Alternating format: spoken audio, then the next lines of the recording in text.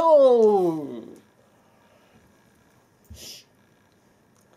バレットのボーカル星野颯太でいくぞソロ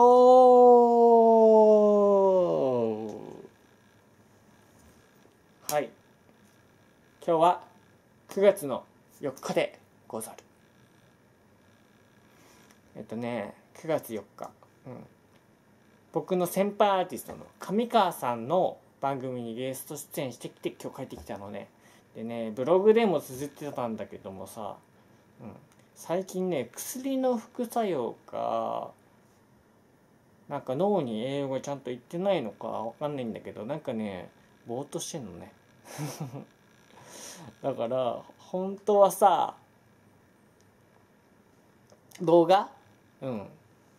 撮るのはどうかなと思ったんだけど逆にこんなソータもレアかなと思ってね。治っちゃう前にこの坊ちゃんソータも記録に収めておこうと思ってこんな操作ですけどもまあお許しくださいませ。別にあのブリッコしてるわけじゃございません。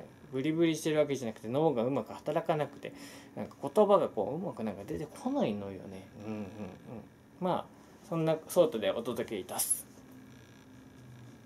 さてさて今日9月4日ゲスト出演してきましたとはいそして、えー、じゃあえー、ちょっとお知らせしよっかな。うん。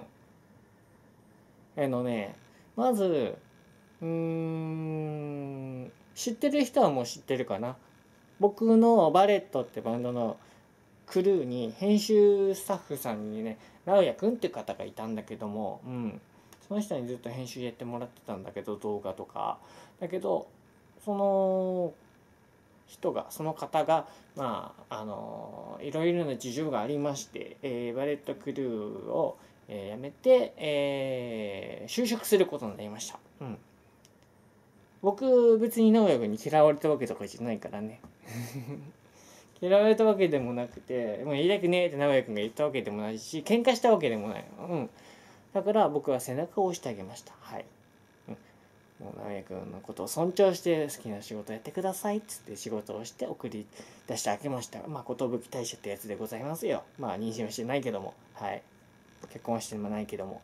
そして、えー、まあ、直哉君の編集スタッフがいなくなりましたということととあと、えー、10月の4日だったかな池袋サイバーでライブありますけども。新曲やっちゃいます。うふふふふふふ。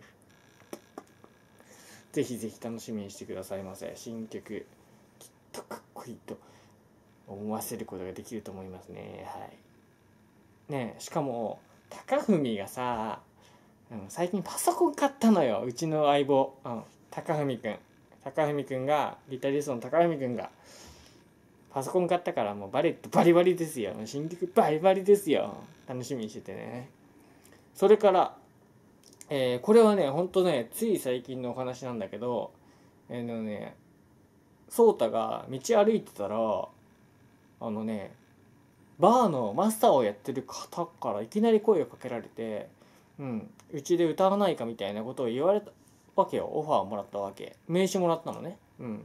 ただうん。僕はすごい嬉しいんだけども嬉しいんだけれども、まあ、その方も酔っ払ってたっていうのもあるしまあねあの社交辞令的なもので言ったのかもしれないからこれは実現するかどうかまだわからないんだけどもしかしたらもしかしたら颯太が、うん、バレットの曲を引っ提げてバーで歌う時が来るかもしれんでござる。まあそんな感じかな近況報告は。うん。ソータはちょっと脳みそがぼーっとしてて言葉がうまく出てこねえからまあそんなレアソータを記録に収めるというのと近況報告の動画でございました。じゃあえー、治ってハッキハキとしたいつもの頼れるソータに戻ってまた動画上げたいと思います。じゃあ一緒にこれやっていこうぜ。